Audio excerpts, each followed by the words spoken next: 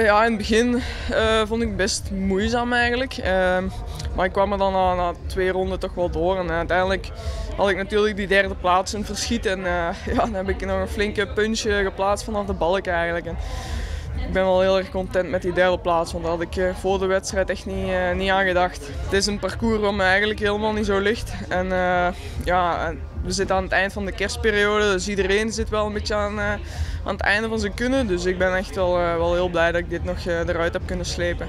Voel je zelf ook dat de batterij aan het leeglopen is?